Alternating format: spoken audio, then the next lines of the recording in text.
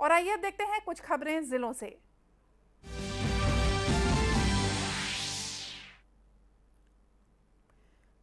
बीजापुर ज़िले में मिरतुर थाने की पुलिस ने तलाशी अभियान के दौरान तीमेनार के जंगल से विस्फोटक सामान सहित दो माओवादियों को गिरफ़्तार किया है। इनके पास से बारूद वायर, ज़िंदा कारतूस और माओवादी साहित्य बरामद किए गए हैं।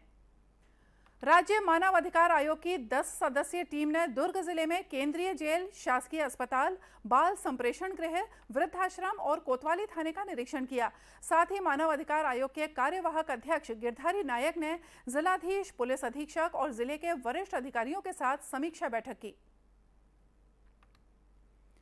कबीरधाम ज़िले में इन दिनों बाल सुरक्षा सप्ताह और चाइल्ड लाइन ने दोस्ती अभियान चलाया है। अभियान के पाँचवें दिन अंजोर रथ के माध्यम से शहर के चौक चौराहों और सार्वजनिक स्थानों पर जाकर महिलाओं और बालक बालिकाओं को यातायात के नियम, आपातकालीन पुलिस सेवा 112 बाल मजदूरी के दुष्प्रभाव, गुड टच, बैड टच सहित कई अन्य नियमों की जानकारी दी गई।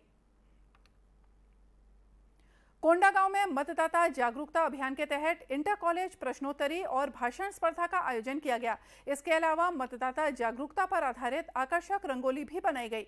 इस दौरान कलेक्टर ने कहा कि युवा जागरूक मतदाता बने और प्रत्येक चुनाव में मतदान कर लोकतांत्रिक देश के विकास में अपनी सक्रिय सहभागिता निभाएँ।